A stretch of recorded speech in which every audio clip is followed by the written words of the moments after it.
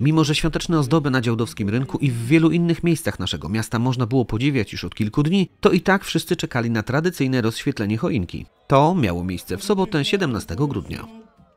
Znajduję się na Dziadowskim Rynku betlejemskie, które właśnie otrzymałem od harcerzy. To światełko przyjechało z Olsztyna, wcześniej z Zakopanego. E, Proszę Państwa, przede wszystkim chciałem podziękować za Waszą obecność. Jest minus 7 stopni, jest wiatr i naprawdę ciężko było e, wytrzymać od początku do końca. Bardzo dziękuję pracownikom Miejskiego Domu Kultury, którzy od godzin porannych tutaj pracują po to, żeby e, te nasze spotkanie świąteczne doszło do skutku.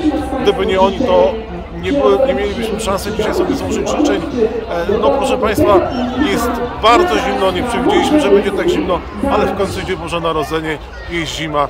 Myślę, że e, jest to taka aura świąteczna. Także Szanowni Państwo, e, korzystając z okazji, przekazuję te światełko dalej do Waszych domów razem z ciepłymi życzeniami, z życzeniami miłości, przyjaźni, zdrowia, pomyślności i spełnienia marzeń.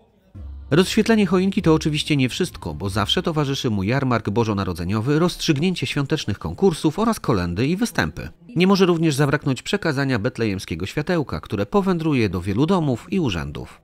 i mam nadzieję, że razem z tym światłem do Waszych domów szczęście, miłość, pomyślność